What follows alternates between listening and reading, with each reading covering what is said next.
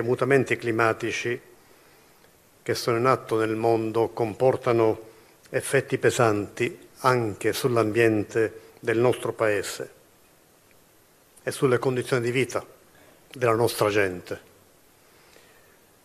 Sentir parlare della desertificazione di alcune regioni africane o dei tifoni violenti dei Caraibi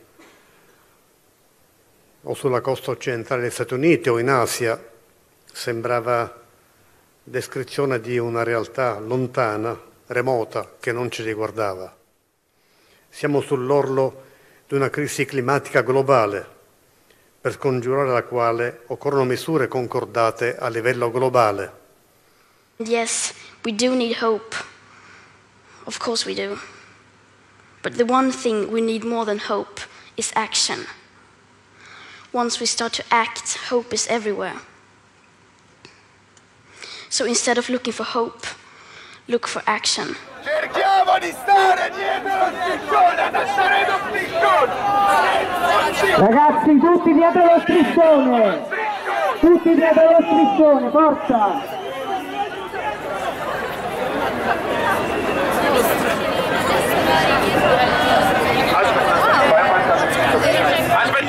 Scioperiamo per il clima! Scioperiamo per il clima! Chi è inquinato deve pagare!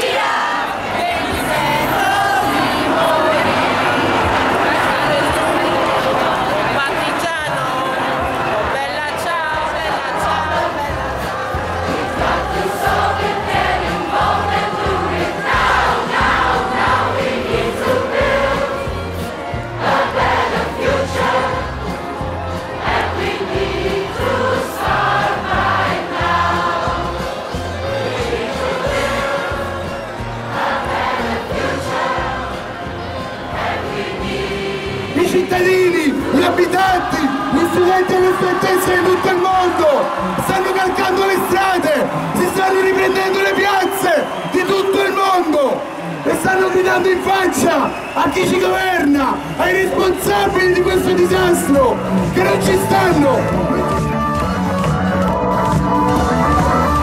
Come medico non posso fare un tappo sulla faccia, non me lo posso permettere. Come donna questo le gambe lo nasce, non me le posso permettere. Quando llanta, lo so su panza, la figa come sul crimine Vuole provarci con me, la faccia andare fine, non me lo posso permettere. Stasera niente cena fuori, non me la posso permettere. E calato permettere, non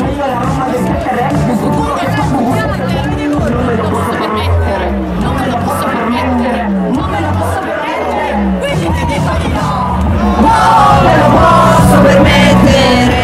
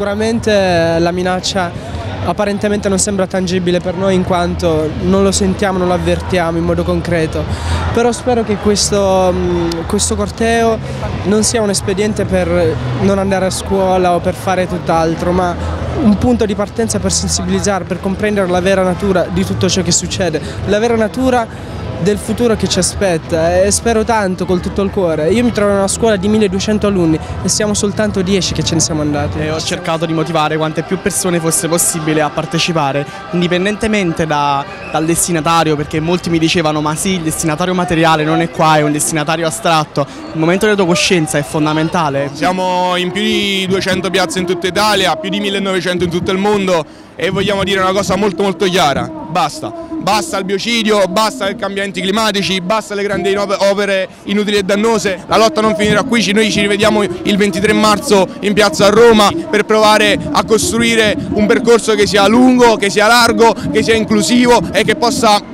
tenere dentro le lotte di tutti quanti, da chi lotta da 25 anni sul proprio territorio per la devastazione ambientale, per la microdiscarica, per le fonderie Pisano a Salerno, per l'inceneritore di Acerra, fino a chi lotta per i cambiamenti climatici da qualche mese come Greta Thunberg. Il senso di questa giornata è che ognuno di noi deve agire individualmente per un cambio globale, oltre a chiedere ovviamente il cambiamento anche ai governi che devono essere attenti a delle politiche sostenibili, perché tutto deve partire dall'ambiente, non più usare la plastica e in più pannelli solari quando quindi il cambiamento primario parte da noi stessi e questo è il trucco. Ma la vedo molto partecipata, la cosa mi fa piacere anche perché è un tema così delicato come quello dell'ambiente, è giusto che sia partecipato non solamente dagli studenti ma anche da lavoratori, da disoccupati e da tutti quanti dobbiamo dare un segnale perché se non lo facciamo noi chi lo fa? Noi saremo quelli che ne risentiranno di più di questa cosa perché da qui a 12 anni la situazione sarà non recuperabile quindi o ci svegliamo adesso e facciamo svegliare gli altri adesso non lo faremo mai più. È arrivato il momento di farci sentire e capire che non è un problema così lontano come molti pensano ma è più vicino di quanto pensiamo e dobbiamo fare qualcosa più presto. No, non possiamo più aspettare che sia qualcun altro a fare qualcosa, dobbiamo iniziare noi per far capire alle persone che non è più una cosa lontana, è una cosa che sta succedendo e riguarda il nostro futuro ed è importante che noi ce ne rendiamo conto e che qualcuno faccia finalmente qualcosa, che noi facciamo qualcosa. Mandare un messaggio, far capire ai potenti di questo paese e del mondo che noi ci siamo, esistiamo e vogliamo cambiare. Non si sente niente però. Vabbè. Professoressa non si sente niente, ci, ci sentiamo dopo. A dopo professoressa! L'ambiente inquina, l'ambiente l'evento forse più grande a cui la nostra generazione abbia preso parte fino ad ora. Eh, il cambiamento climatico è la guerra che noi dobbiamo combattere, che noi ci ritroviamo a combattere, la nostra, la nostra generazione. Smuovere un po' gli animi di tutti e convincere tutti a fare qualcosa per cambiare questa situazione che interessa anche se nessuno se ne accorge tutti. La terra è nostra, il futuro è nostro e non ci può essere tolto. Oggi siamo qua per dare forte che le politiche del governo non ci piacciono abbiamo bisogno di politiche, di energie rinnovabili che ci permettono di vivere in sanità. È fondamentale andare a lanciare un messaggio molto importante, ovvero che non abbiamo più tempo. Oramai il tempo sta scadendo e dicono gli scienziati che abbiamo 12 anni, quindi non lo sto dicendo io e se continuiamo così secondo me ne saranno anche di meno. Quindi credo che dobbiamo veramente muoverci e fare qualcosa per questo pianeta. Non è un caso che diciamo, negli ultimi anni aumentino di continuo eh, malattie mh, mm, cardiovascolari ma anche tumorali legate evidentemente a tutto quello che respiriamo che è frutto ancora una volta del sistema di sviluppo in cui viviamo. Io penso che in generale il problema dell'ambiente sia la priorità assoluta rispetto a qualunque settore, qualunque altro problema viene dopo il nostro futuro, che è la cosa principale. Il futuro è nostro! Se ci inquiniamo il futuro noi non viviamo! Dobbiamo l'inquinamento, si deve fare qualcosa prima che non ci sia più tempo! Il mondo non può essere distrutto, dobbiamo distruggere il capitalismo, non l'ambiente, questo è il problema, il problema economico. Siamo arrivati ormai in una situazione critica, abbiamo bisogno che cambi, altrimenti come ci è stato appunto detto da scienziati e anche da economisti, probabilmente tra 12 anni finiremo e noi vogliamo continuare a resistere. Bisogna mettere in opera una vera e propria transizione ecologica entro i 12 anni che gli scienziati ci hanno detto essere la deadline. Sicuramente è una data che sarà ricordata in futuro, è una data storica e il nostro futuro è in gioco, quindi è giusto lottare per quello. Per me questo momento significa lottare contro il menefreghismo dei più potenti. Stiamo portando avanti quello che è movimento appunto partito in Svezia e cerchiamo di diffonderlo in tutto il mondo. È importantissimo perché veramente non c'è tempo e quindi cioè, ci vuole una scossa. Stiamo spronando le istituzioni a prendere dei provvedimenti per quanto riguarda l'inquinamento, la, la, costruzione di opere inutili e uh, la distruzione del nostro pianeta. Terra è una sola, non c'è un pianeta B. c'è pianeta B. Gli studiosi dicono che tra 15 anni la Terra morirà e noi non vorremmo morire insieme a loro. stanno distruggendo. E il senso è quello di far sì che il governo ci noti e prenda dei provvedimenti nei confronti dell'ambiente. È una giornata molto importante.